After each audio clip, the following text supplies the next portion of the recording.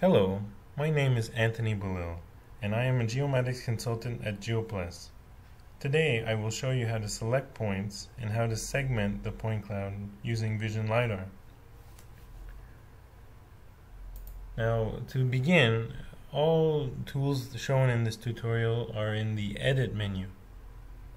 So we have Select and Select All for the selection. Note that these tools will select all visible points, meaning if there are any points that are hidden, so for instance, if some points are hidden here, and I do select all, only the visible points will be selected. Select all will select all visible points. However, select will be require the user to create a polygon where points can be selected. So if the user clicks on select, afterwards it's necessary to click and do a left click and see we have a green line here that begins and keep on doing left clicks to create a bounding box. So to close the polygon we must do a right click where the polygon will be closed and our selection window will appear. So only points within the bounding box will be selected. Now we have a few options here. So we may delete or undelete any points that may have been deleted beforehand. We can classify directly. We can create an extraction or we can create a surface. Creating a surface will add a surface in the Vision Civil module, and this will be explained in a further tutorial. Now for classification, this can, tool can be interesting as we can segment the point cloud manually. So for a good example of manual classification, we can visualize the data with view color by class, and we can see here a few of the points have been classified with some of the Vision LiDAR's automatic classification tools.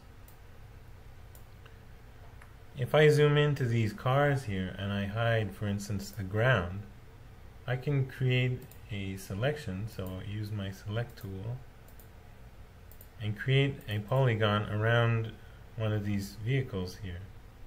I can classify to class 13, let's say, which is an empty class and I can enter in a name. So this point will be recognized as vehicle. I can continue like this by selecting, by left clicking my polygon box and right clicking to close.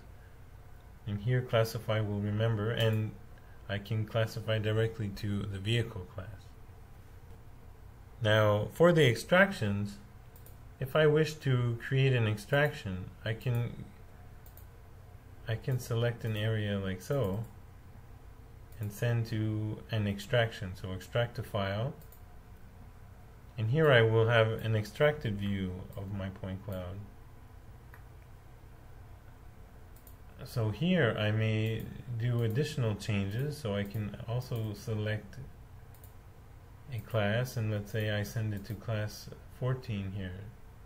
But any changes made in the extraction will not be reflected in the main project unless I go to File, Set Extraction Back.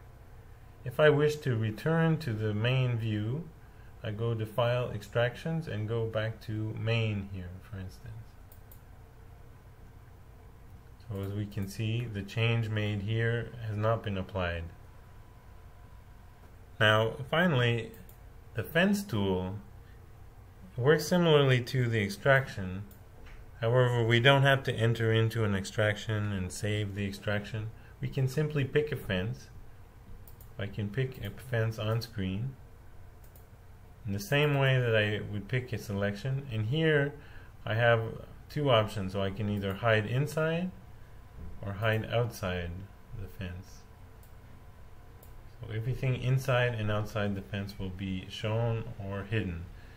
So when we do any type of classification or any algorithms are run, only visible points will be calculated and will be shown. we can draw or erase our fence so we can see the the fence is applied here. If I draw it and apply it, I'm reapplying my fence as I go along. Erase simply erases the fence from the screen. So that's it for the fence.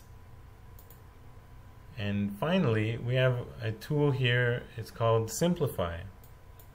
So this tool is going to create an extraction, however it's going to simplify the number of points in the extraction. So we use a grid simplification. So the grid is the size of the tile, so in this case it's one centimeter by one centimeter by one centimeter for the grid, and it's going to keep only one point per tile. Obviously, the larger your grid size here, the less points you'll include into your simplified point cloud. The result will be sent into an extraction. So if you want to export a simplified version of your point cloud, you can create the extraction and then afterwards go to File, Export to, and export the point cloud. So that's it for the selection and segmentation of point clouds with Vision LiDAR. Now I hope you enjoyed this tutorial and stay posted for more Vision LiDAR tutorials. Thank you very much.